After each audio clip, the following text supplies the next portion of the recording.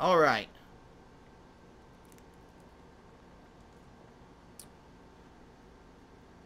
My nose is itchy tonight. I don't know why. It's very itchy. It's bothering me. It keeps showing those those uh, bars. That's weird. So what I need to do, I need to go down to ground level and go back down to that area. Remember there was the poison pond with the spiders and there the baby monsters with giant fucking mutant hands for heads? That's apparently where the Onion Knight is.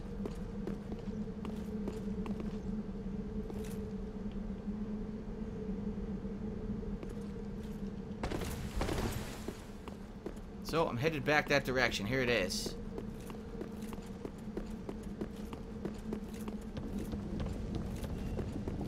Stupid gar gargoyle showed up. That thing sucks. Push over gargoyle.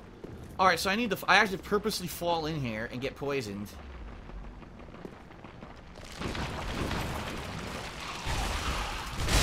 Look how much more aggressive the spiders are now.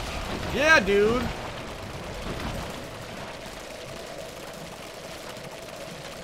Yeah, the, the spiders were apparently fucked up earlier in the game when I fought them. Because now they're way more aggressive. Look.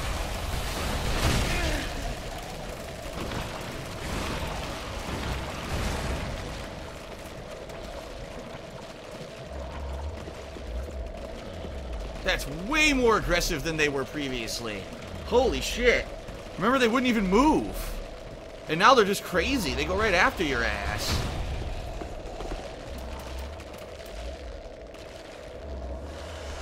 That didn't work. I need to equip a better one, I think. I think I have a better one that will cure this.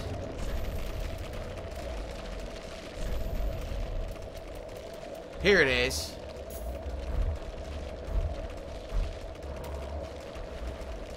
There we go.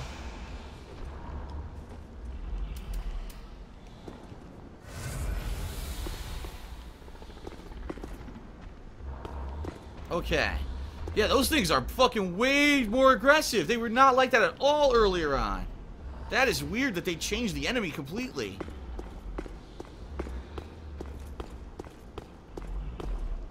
So I already cleared all these rooms and everything. What I want to is go up here. There should be an asshole up here, I think. Now, you know what? I killed him already. There was a guy over here. I killed him already. So here, this right here, remember this? Remember this running jump I did earlier in the game? And there was nothing really in there. There's like one item. Apparently, the Onion Knight may be imprisoned in here now. So let's find out.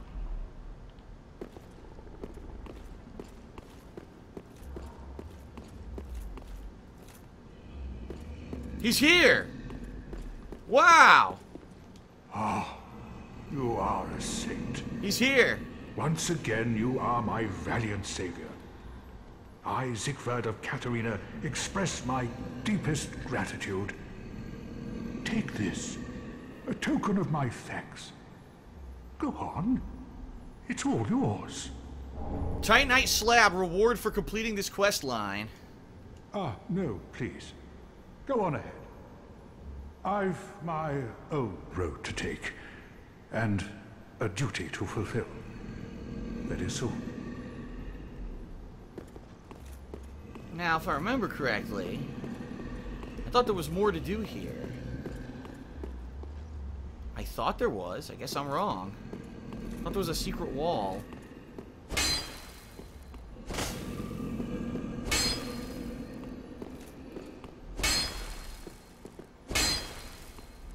So what's funny is you see the door is open. If you remember previously in the game, I opened it, right? The door was supposed to be locked for him so he couldn't escape, but the door was open because I've already been here, so it makes no sense that he's here and he thinks that he's locked in here. It's so stupid. Ah, no, please. I've... and... A okay. So that's, you give me a Titanite slab. That's a great reward because that means I can max out another weapon, which I might want to do later. Um... So now... I think I'm to use a homeward bone. Okay.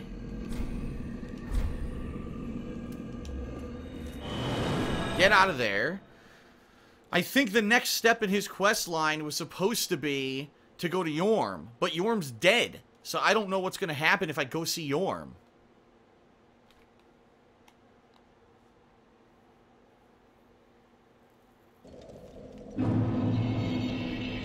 Okay.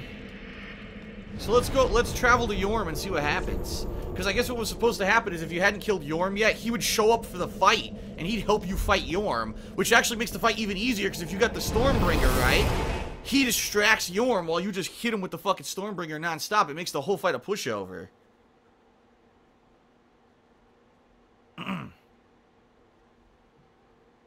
Alright, let's see what happens.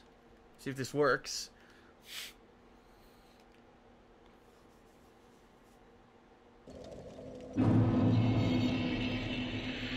Yes, look! It worked!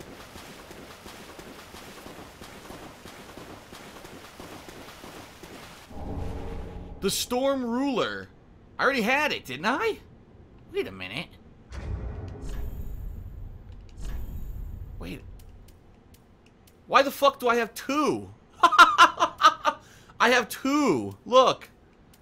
Why the hell do I need two Storm Rulers? That's all I got for that? That sucks. The Onion Knight's supposed to be here. And he is not.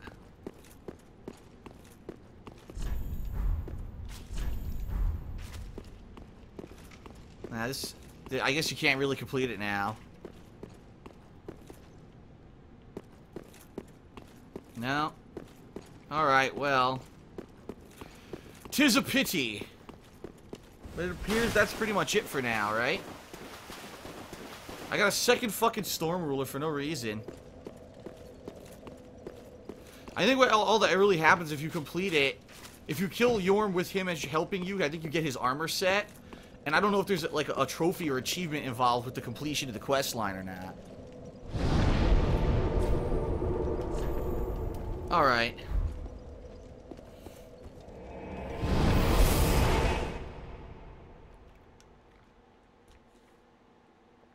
Alright, um, I want to see now, before we progress, bear with me, I want to see how many soul items I have on me, because I might want to see if I can upgrade the Lothric, or Lothric sword, Knight sword, to max, and see if it's any better than the one that I have, and I might want to level up again.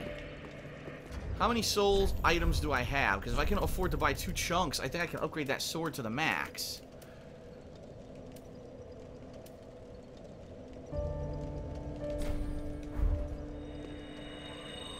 Wow, that was 20,000. Great. I'm going to buy two chunks.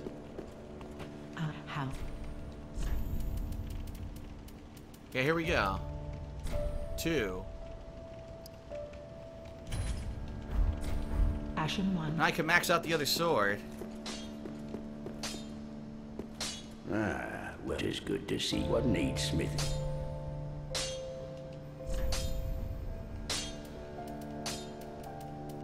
Here it is. Yep. And now I can use the Titanite slab on it. Which is a... Damn, it makes it pretty hefty, huh?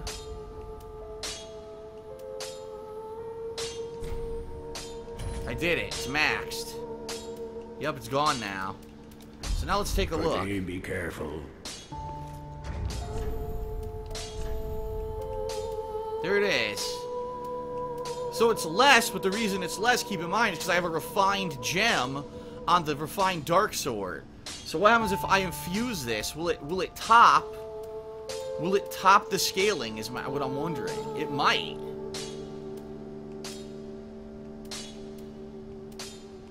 If I put a gem on it, let's find out. That is what needs.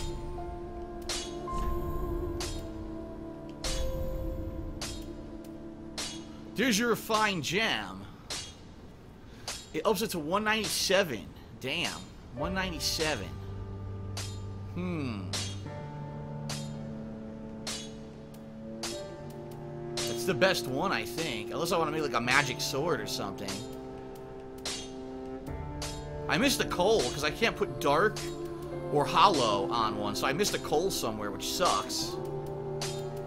I really wish I had found the coal.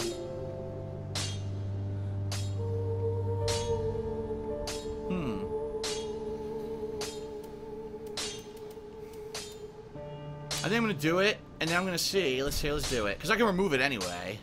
There. Pretty be careful, I don't.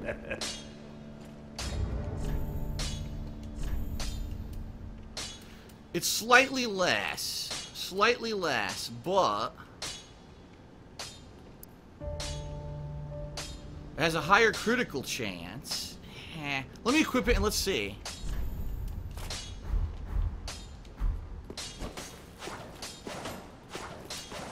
Pretty much just as fast.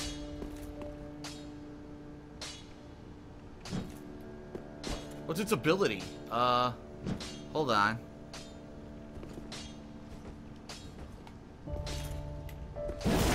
A big uppercut. Or a running pierce. That's its ability. Much different than the other sword, right? The dark sword. The dark sword stomps. Hmm. So, it's okay. I mean, it's not...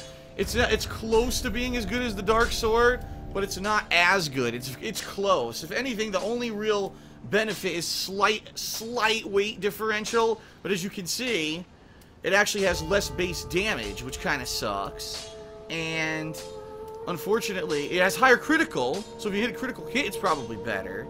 And it's not as good. It's not as good. Damn it.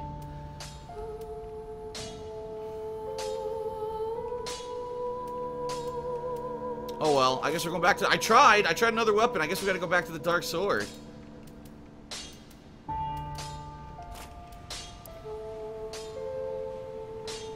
Actually, it's actually better than the other sword I was using, too. It's actually better than the Irithyll, Irithyll Straight Sword. But the Dark Sword's the best one.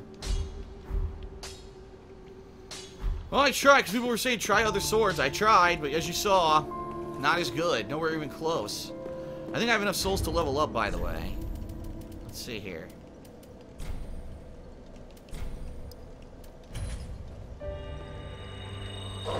Okay.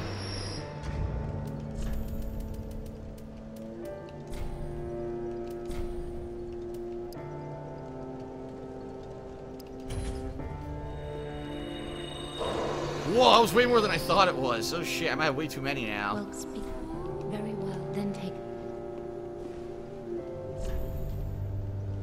See. Well, I mean, vitality is important. Or not vitality, vigor is important. Stamina, I think I'm good. I think I have enough stamina now. I could just keep going for strength or dexterity at this point. I think I will. Let's just go for strength. More damage. Farewell, Ashen One. People want to see... I think they want to see the ability of the Dark Sword. It said stomp, that's one. And you can do an uppercut afterward. See? It stops. supposed to like stagger your opponent. I think it only works on regular enemies though. Okay. Alright, that's it. Gotta go back to where we were, right? Uh... Is this it? This is it, right? It goes up the ladder after this? I think so. No. No, no, no. This is it, the dancer. The dancer bonfire. There you go.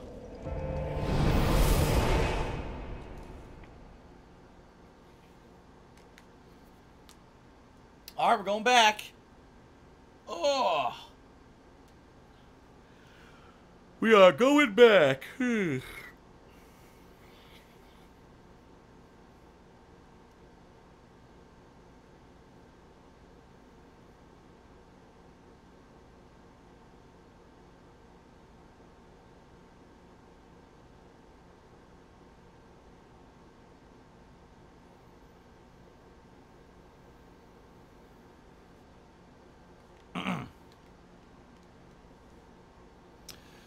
Alrighty.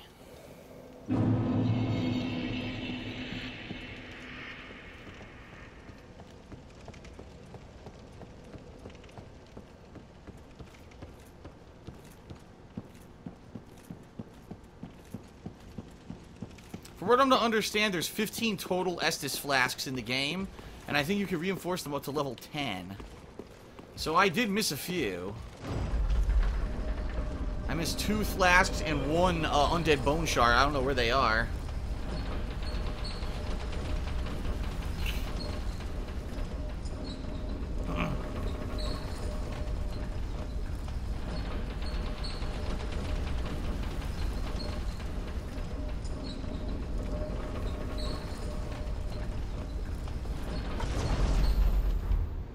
So there's the boss. What is to the right? I haven't looked over here yet. Let's take a look over here and see what we've got coming up uh, before we take on the boss.